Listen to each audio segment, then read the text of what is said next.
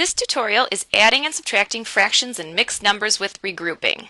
Now to make today's tutorial a little bit easier, we gave sample problems that have the same denominator. But if you encounter a problem that has different denominators, remember to add and subtract fractions you always have to have a common denominator. So you'd have to convert your fractions into equivalent fractions with common denominators. But we're going easy today. So let's see, our first problem we've got 3 and 3 fifths plus 2 and 4 fifths. So I always add my fractions first. So I have 3 fifths plus 4 fifths.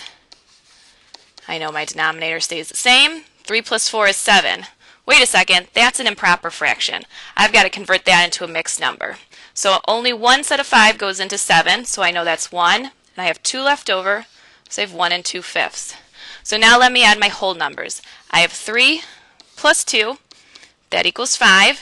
I want to add my 1 from my fraction. So I have 6 as my whole number and my 2 fifths. So my final answer is 6 and 2 fifths. Let's try that with subtraction. Again, I'm going to start with my fraction. So I have 1 fourth minus 3 fourths. Wait a second, I can't take 3 fourths from 1 fourth. So what do I have to do? I got to borrow from my whole number. So I'm going to turn this 5 into a 4. That whole number I just added is the same as 4 fourths. So I'm going to add that 4 fourths to my 1 fourth to make it 5 fourths. So this now becomes 5 fourths. That I can subtract. My denominator stays the same. 5 minus 3 is 2. And 2 fourths simplified is the same as 1 half.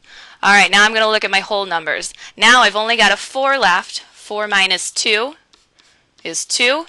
So I know my final answer is 2 and 1 half.